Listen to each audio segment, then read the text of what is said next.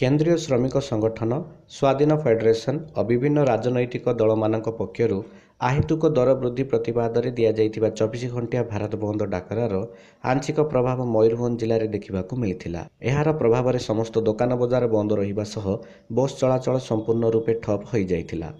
ଅଠର ଓ ଅଣଚାଶ ନମ୍ବର ଜାତୀୟ ରାଜପଥରେ ଆଂଶିକ ଭାବେ ଗାଡ଼ି ଚଳାଚଳ ଚାଲୁ ରହିଛି। ତେବେ ଆଜି ମୁଖ୍ୟମନ୍ତ୍ରୀଙ୍କ ବାରିପଦା ଗସ୍ତ କାର୍ଯ୍ୟକ୍ରମ ଥିବାରୁ କୌଣସି ଅପ୍ରୀତିକର ପରିସ୍ଥିତି ମୁକାବିଲା ପାଇଁ ପୋଲିସ ପ୍ରଶାସନ ପକ୍ଷରୁ ବ୍ୟାପକ ସୁରକ୍ଷା ବ୍ୟବସ୍ଥା ଗ୍ରହଣ କରାଯାଇଥିଲା। ସେହିପରି ବନ୍ଦକୁ ଦୃଷ୍ଟିରେ ରଖି ରାଜ୍ୟ ସରକାର ଆଜି ସମସ୍ତ ଶିକ୍ଷାନୁଷ୍ଠାନଗୁଡ଼ିକୁ ବନ୍ଦ ରଖିଛନ୍ତି। କଂଗ୍ରେସ ଓ ଝାରଖଣ୍ଡ ମୁକ୍ତି ମୋର୍ଚ୍ଚା ବନ୍ଦକୁ ସମର୍ଥନ କରୁଥିବାରୁ ଏହାର ପ୍ରଭାବ ବଢ଼ିବାର ସମ୍ଭାବନା ରହିଛି।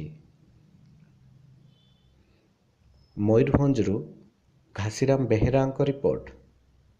ଉତ୍କଳ ଖବର।